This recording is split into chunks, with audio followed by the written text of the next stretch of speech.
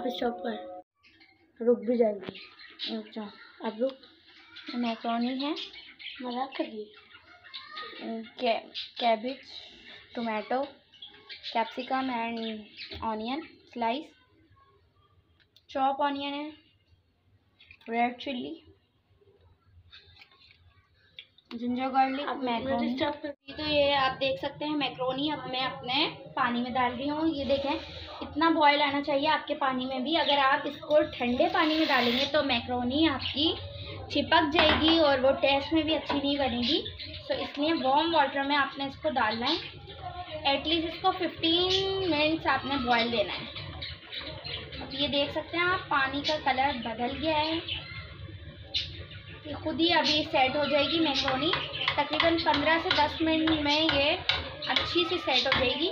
और फिर मैं आपको इसकी इसको स्ट्रेन करूँगी और इसकी फाइनल शक्ल मैं आपके सामने दिखाऊँगी। सो so, 10 मिनट हम रुकते हैं जब तक आप लोग जी तो मेरी मैक्रोनी आप देख सकते हैं बहुत अच्छी सी उबल चुकी है। इस तरह का आपको टेक्सचर रखना है।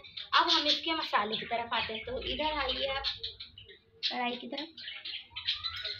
तो ये गर्म हो गई है। इसमें आपने डालना है ऑयल ऑयल आपको जितना पसंद है, वैसे कम ही डालिएगा। तो ज़्यादा बेटर है। इसी के साथ चॉप ऑनियन पूरी ले लें। कोई भी चीज़ वेस्ट ना करें तो ज़्यादा बेहतर है। इसी के साथ चॉप जिंजर गार्लिक तकरीबन ये हाफ़ टेबल स्पून है, अगर आप उसको रेशियो करेंगे।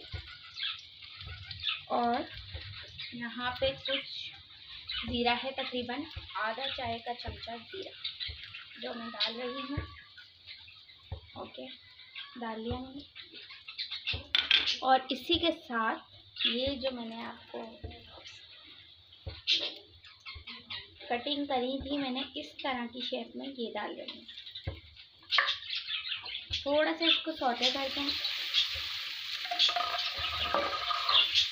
सौते करते रहेंगे अभी जब तक। थोड़ी लाइट सी है ब्राउनिश कलर पे ना आ जाए। लाइट ब्राउनिश चाहिए। हमें फुल कुक नहीं करनी, ना ओवर कुक करनी है।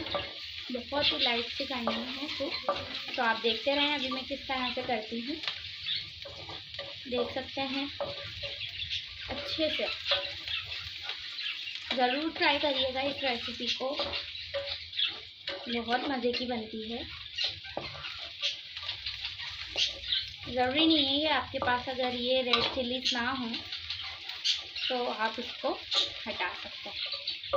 मेरे पास इतनी जो चीज़ें घर में पड़ी हुई, मैंने सिर्फ़ ही ली हैं। कुछ भी मैंने बाहर से नहीं मंगवाया इस वक्त। तो ये देख सकते हैं। अब ये गोल्डन कलर पकड़ रही है प्याज हमारी। तो इसी के साथ आपने क्या करना? थोड़ा सा थोड़ा सा मैं यहाँ पे ये पानी है, पानी ऐड करने लगी ओके? पानी डालने के बाद थोड़ा सा मिक्स करेंगे। फ़ौरन ही फ़ौरन हमने सब चीज़ें डाली हैं। Chilli sauce, one tablespoon. And soya sauce 1 tablespoon tomato slice डाल देंगे अब इसको ज़रा सा हम सौते करेंगे। एक मिनट ज़रा रखें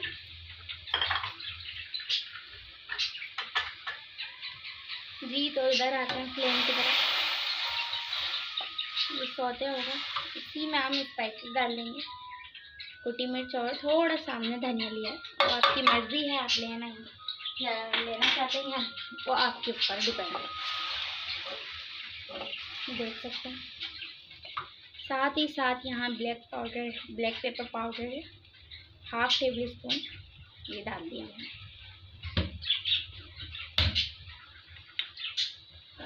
शुगर सॉल्ट थाइम और चाइनीज़ सॉल्ट नमक है थाइम है और चीनी है मेरे पास और चाइनीज़ सॉल्ट सबको डाल देंगे यहाँ पे डाल दिया है मैंने सब.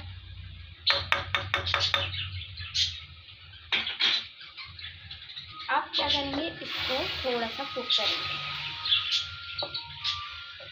बहुत मज़े की बनती है ये. ज़रूर ट्राई करिएगा, मैं कहूँगी और मुझे ज़रूर कमेंट करके बताइएगा कि आपको मेरी रेसिपी कैसी लगी. देख सकते हैं। थोड़ा सा प्लेन तेज़ करेंगे। और? स्लाइस मुझे तोड़ने नहीं है बस मुझे थोड़े से इसको कुक करना है। बिकॉज़ मैंने इसको स्लाइस में ही रखना अदरवाइज़ आपकी मर्ज़ी है कि आप जिस तरह रखना चाहें टोमेटो को। कुक हो रहे हैं अच्छे से। सॉल्ट आप चख लें जितना आपको पसंद है उतना।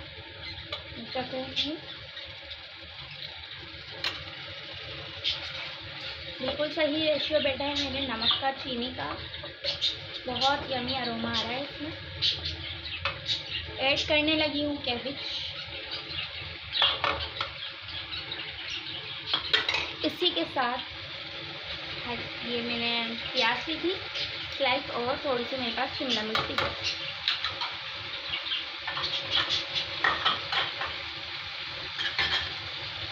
तो इसको मिक्स करेंगे खूब अच्छे से। थोड़ा सा पानी डालेंगे। अभी नहीं, पहले इसको आप मैं अच्छे से मिक्स करना ताकि सब जो भी मसाला मैंने इसमें डाला है, वो इसके साथ अरोमा दे। देख सकते हैं आप, बहुत इसी में अगर आप कभी चाहें तो पैकेजिंग भी बना सकते हैं इसी रेसिपी ये तो बिल्कुल थोड़ा सा वाटर वाटर बिल्कुल थोड़ा लेना है, यानी पानी। थोड़ा सा कुक करेंगे, ज़्यादा सब्जियों को नहीं पकाना। काली मिर्च में थोड़ी और ले रही हूँ, मुझे कम लग रही थी। वो आपकी मर्ज़ी है जी। तो यमी से कुक हो रही है, और बहुत ही मज़ेदार बनती है मैक्रोनी पकने देंगे थोड़ा इसे जब तक कुक होती है। बहुत मज़ेदार बनेगी।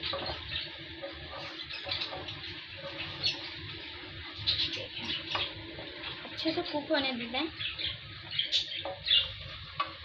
तकरीबन एक मिनट ये और कुक होगा और फिर इसमें हमने मैक्रोनी ऐड करनी है कुछ भी नहीं करा, सब मसाले वेजिटेबल सब डाल दी है मैंने।